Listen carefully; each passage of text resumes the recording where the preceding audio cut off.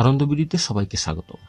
ইউটিউবে বিখ্যাত হবার নেশায় তরুণীর হাতে করুণ মৃত্যু হল তরুণের। উনিশ বছরের দুজন উচ্ছল তরুণ তরুণী বিয়েও করেছেন সম্প্রতি। দুজনেই বেশ পরিচিত ইউটিউবার।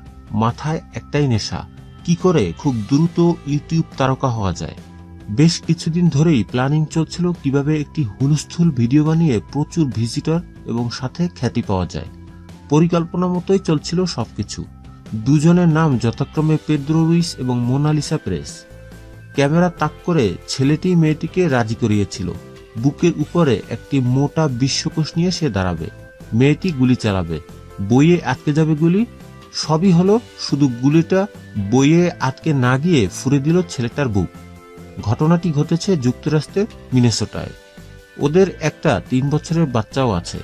কচি বাবা মা হিসেবে নিজেদের জীবনকে সবার সামনে তুলে ধরলেই বিখ্যাত হয়ে ওঠা যাবে এমনটাই ভেবেছিল ওরা।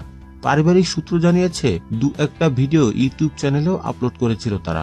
গুলি আটকানো বইয়ের খেলাটা ওরা ভেবেছিল তুমুল হিট হবে। মেয়েটি প্রথমে রাজি হচ্ছিল না।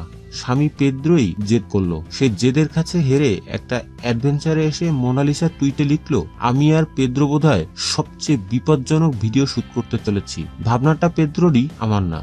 পূর্ব পরিকল্পনা মাফিক বন্দুকটা এক ফুট দূর থেকে মোনালিসাই চালিয়েছিল, কিন্তু মেলেনি হিসেবটা শেষ মুহূর্তে।